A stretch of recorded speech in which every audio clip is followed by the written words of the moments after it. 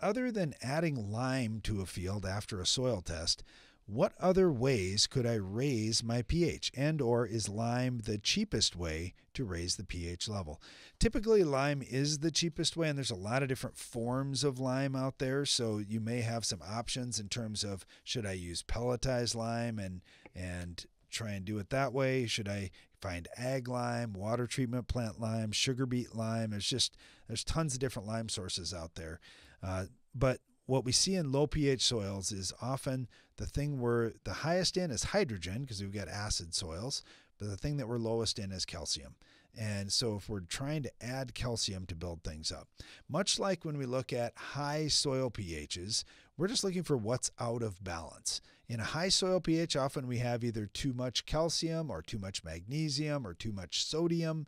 In a lower pH soil, often we have too little of something and and calcium is probably the most common. So adding lime out there is a good way to go. And that chemical reaction that lime has it's calcium carbonate.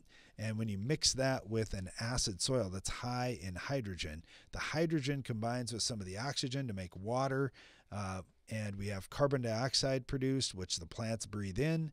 And the other product that we have is free calcium in the soil which is exactly what your crop needs